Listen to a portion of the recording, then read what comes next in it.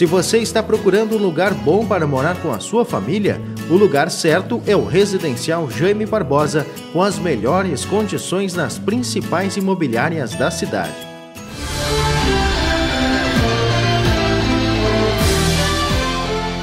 A luta dos alunos da Universidade Estadual do Rio Grande do Sul, em Tapes, continua.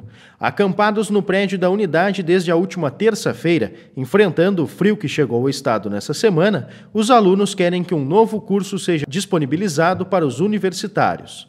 Atualmente, a unidade conta com dois cursos: bacharelado e curso superior tecnológico em gestão ambiental.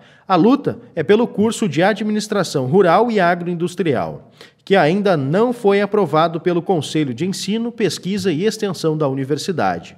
Os alunos aguardam ainda a visita da atual reitora, que, segundo os manifestantes, durante a campanha para chegar ao cargo, citou o objetivo de fortalecer as unidades da UERGS.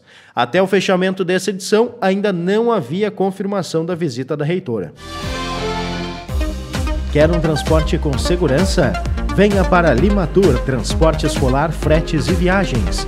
Entre em contato 9992 1257.